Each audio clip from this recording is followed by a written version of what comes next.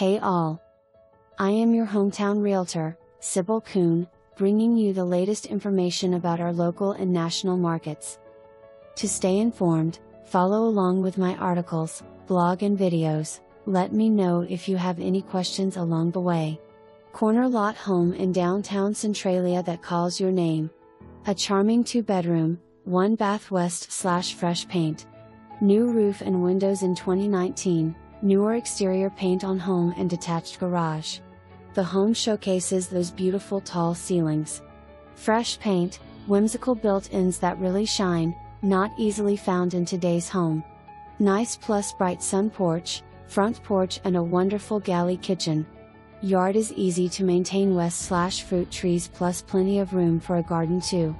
The detached garage has an additional storage room for crafts, yard tools, bikes or just overflow of summer slash winter toys. This Edison District home gives you a couple of blocks